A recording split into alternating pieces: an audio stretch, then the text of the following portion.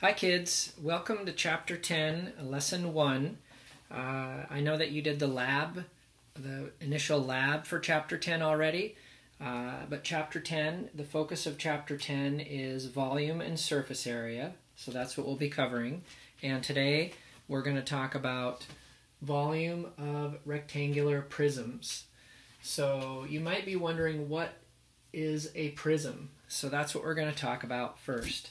Uh, also, for this uh, chapter, I really suggest that you use grid paper for your note page.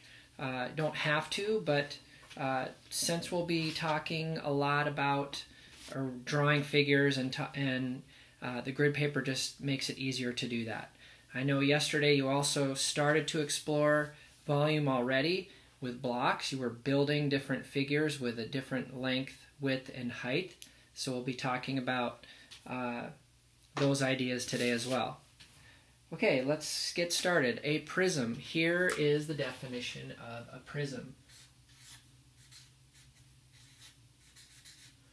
So uh, over here, uh, follow um, the directions to draw. We're going to make a drawing of a prism. So connect a diagonal on one on across one box, like that. Now make a line that goes across three full squares. So one, two, three. And do that again from the bottom of that diagonal line. One, two, three. And then connect that diagonal. So there is the top of our prism. From this corner come down two squares. From this corner come down two squares. And from this corner come down one, two. Connect the bottom, connect the side, and now we have a box. Now I'm going to draw in some more lines that you couldn't see. If you could see through the box, you would see also see these lines. So make these dashed. So this should be a dashed line. Dashed diagonal line here, and another one coming down, and another one coming across.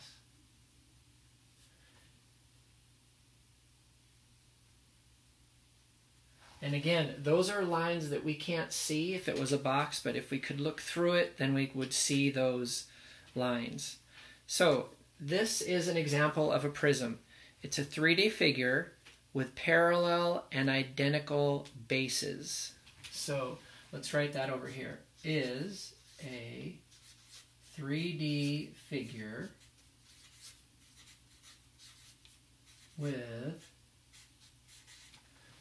uh, parallel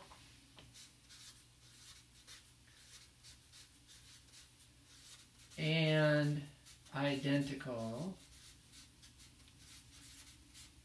bases. So that is the definition of a prism. 3D figure with parallel and identical bases. Now let me show you some examples. Um, today we're going to be looking at rectangular prisms which are boxes. So here is an example of a rectangular prism and that pink side is the exact same as this side. Those are identical and they're parallel. If I extend them in all directions, they're never going to touch. I also could have looked at it like this and called this two identical bases, or like this and used this base and this base as identical. But I figured um, I set it down on the ground like this. So here's a base, here's a base. They're parallel and they're never going to touch. And they're identical, exact same base. Here is another example of a prism. Not a rectangular prism, but the base is a triangle. So that base is identical to this base and they are parallel. They're never going to touch. Okay, if I extend them in all directions, never going to touch. So this is an example of a triangular prism. Here's another example. Hexagon, hexagon, they're parallel, they're identical, never going to touch if I extend them. This is a hexagonal prism. So as you can see, prisms come You can have any kind of prism you want as long as the faces or the it's got parallel and identical bases.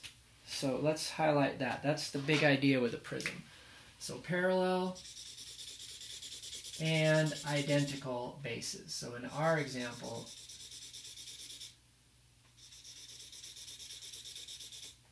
those faces are parallel and identical. They're never going to touch if I extend them in all directions. Okay, so this lesson is only talking about rectangular prisms, which are boxes. Okay, it's some kind of a box. And volume, the official definition of volume, which I know you looked at uh, in the lab already a little bit, but the volume is the amount of space inside a 3D figure. It's measured in cubic units or units cubed. This is what you were doing in the lab. This is an example of volume. How much, how many, the space measured inside this box in cubes. This is the idea of volume. So let's write that down. Volume. Volume is the amount of space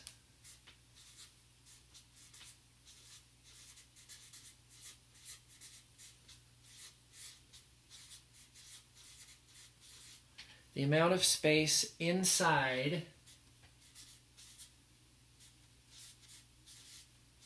a 3D figure.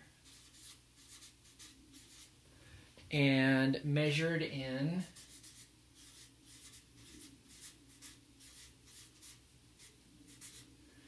uh, cubic units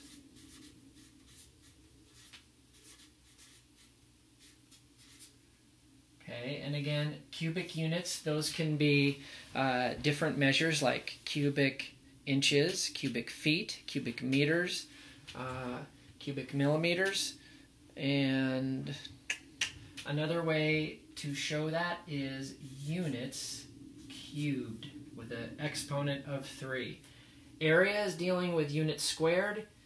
Cubic units are units cubed, or to the third power is a shortcut. And again, we would say units cubed. All right, so let's highlight volume. This is the big idea today. Volume of a rectangular prism or a box, and it's always in cubic units. You can shortcut it with the units to the third power, and the way you say that is cubed.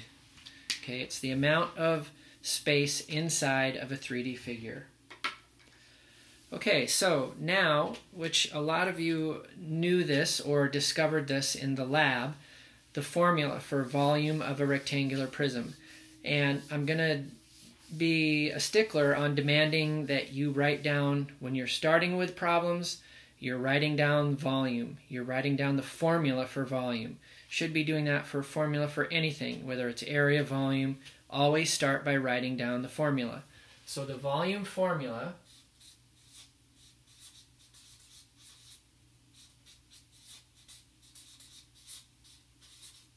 and I'm just going to say rectangular prism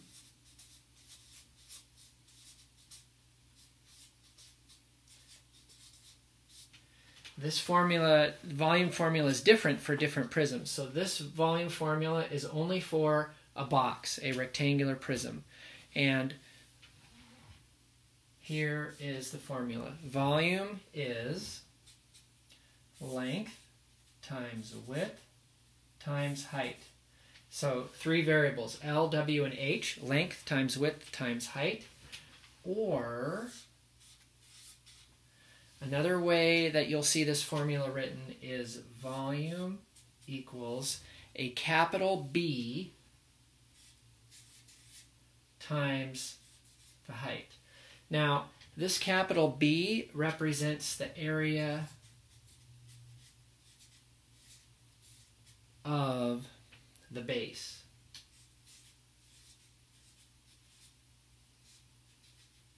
So let's explain that. If I'm looking at this rectangular prism, the area of the base, and I would label these, this would be the length, The height is how tall it is, and then this dimension would be the width, length, width, and height.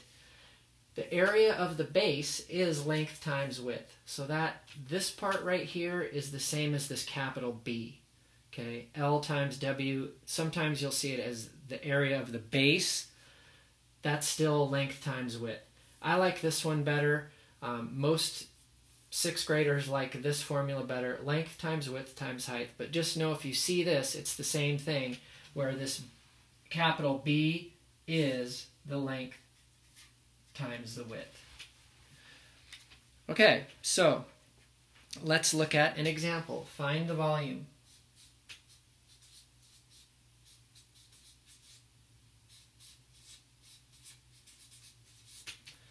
Find the volume when you have a rectangular prism with a length of 6,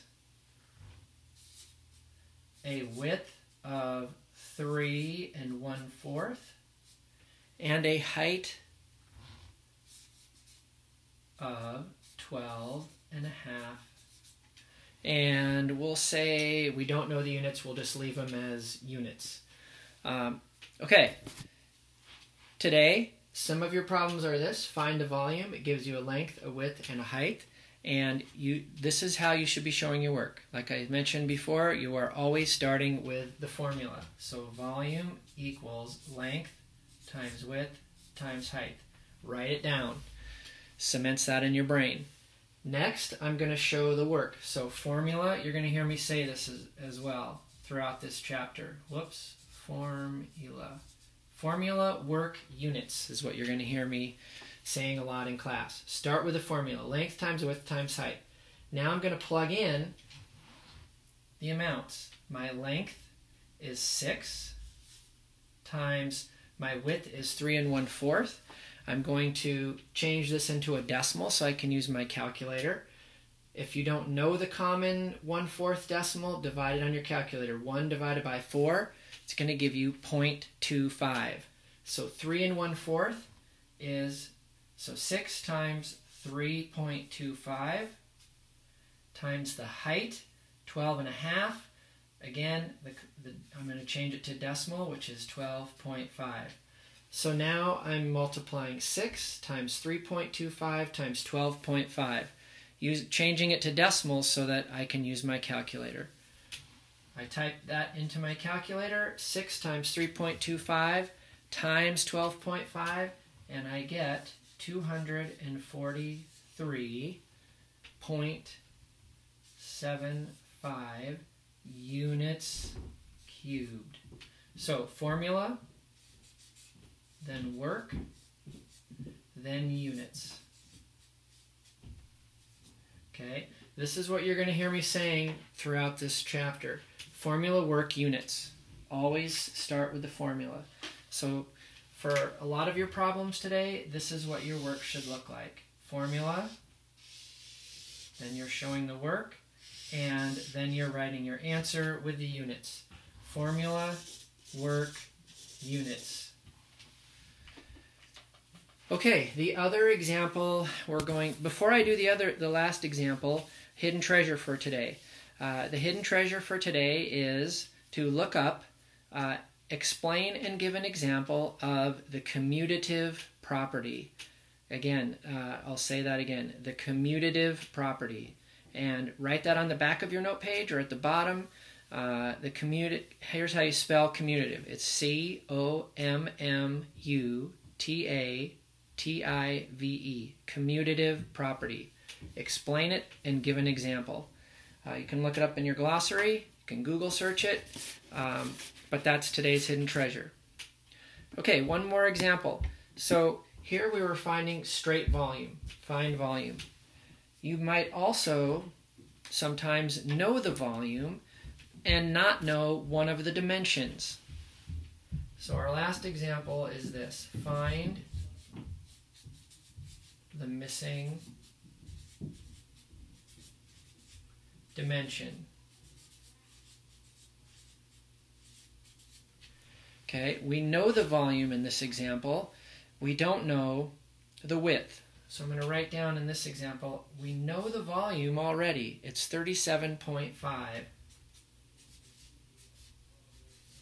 37.5 inches cubed. We know the length. The length in this example is 2.5 inches. We know the height, or I'm, I'm going to do the width. We don't know the width. Width is a question mark. And the height is the height is three and three fourths inches.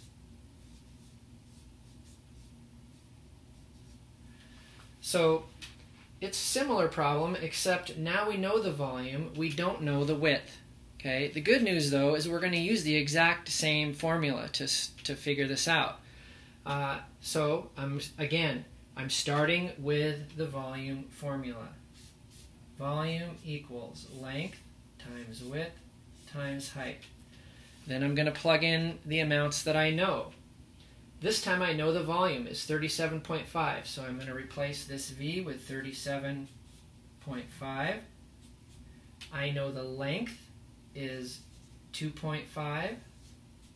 I don't know the width, so I'm going to leave that W and I know that the height is 3 and 3 fourths. Again, I'm going to change this into a decimal so I can use a calculator. 3 divided by 4 is 0.75, so 3 and 3 fourths as a decimal equivalent is 3.75. So now, after I substituted the amounts into the formula, again, always start with the formula. Now, on this side of the equation, 2.5 times 3.75, I'm going to multiply those together on my calculator and get an amount, and then I'm going to multiply that times W. So 2.5 times 3.75.